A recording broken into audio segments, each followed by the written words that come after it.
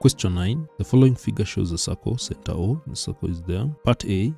Determine the equation of the circle. Determine the equation of the circle. So look at this circle. For us to get the equation of the circle, we need to have the center and the radius. So we need the center and we also need the radius. So how do we identify the center? The center is O. We just need to give the coordinates of the center.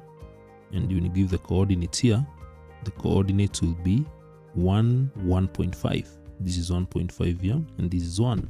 So the coordinates are 1, 1.5. That is the center. 1, 1.5. The radius will be this distance from the center here to the circumference. So how many units are those? So it is from 0 or uh, from 1, be very keen, from 1 all the way to 3. So those are 2 units. So radius is equals to 2 units. So having the center and the radius, we can now proceed and get the equation. And we need to understand the standard format of the equation of a circle. It is given by x minus a squared plus y minus b squared is equals to radius squared. That is the equation of the standard equation of circle with center being AB. The center is AB and in this case uh, AB is 1, 1.5. This is 1, 1.5. So you just need to substitute and you have the radius as 2 units. So substitute. So this will be x subtract a is 1 then you square that plus y minus b which is 1.5 squared is equals to radius squared which is 2 squared open this bracket you get x squared minus 2x plus 1 then plus expand these y minus 1.5 squared you get y squared minus 3y plus 2.25 is equals to 2 squared which is 4 so x squared plus y squared then minus 2x minus 3y i'm just reorganizing these. Then the constants we have 1 2.25 4 so i can bring 4 to the left hand side of the equation so that i will have 1 plus 2.25 then subtract 4 and that will give negative 0.75 is equals to 0 so that is the equation of the circle. Part 2, and for part 2, you're supposed to use the equation in part A to determine the x-intercept of the circle correct to three decimal places, the x-intercept of, this, of the circle. So how do you get the x-intercept? Uh, at x-intercept, so at x-intercept, y is equals to 0.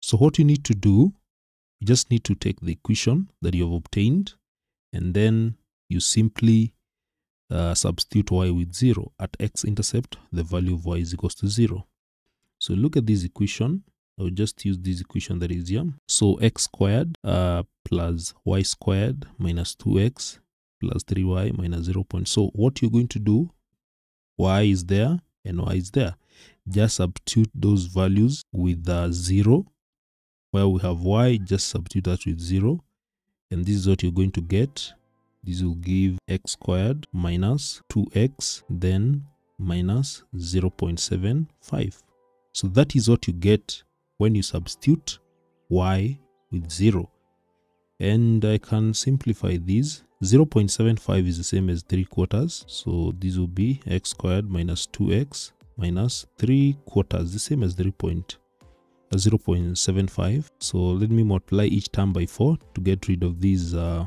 fraction here. I'll get 4x squared minus 8x minus 3 is equals to 0. So when I solve this quadratic equation, it will give me the x-intercept. And me use um, the quadratic formula. Use the quadratic formula to solve this. In this case, the value of a is 4, it is here.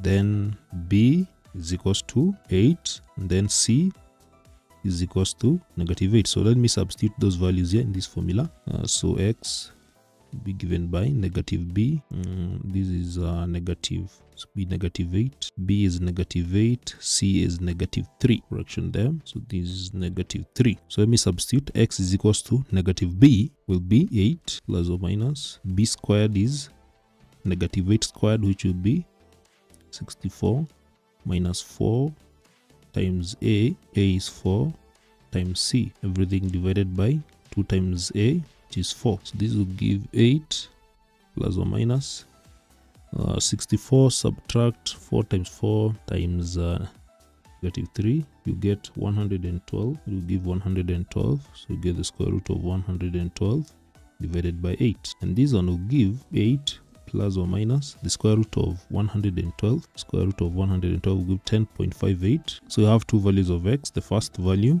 is uh, when you consider the positive 8 plus 10.58 divided by 8 and this one will give 2.323 that is the first value. And the second one x is equals to consider the negative and this one will give negative 0.3225 so those are the values of the x intercept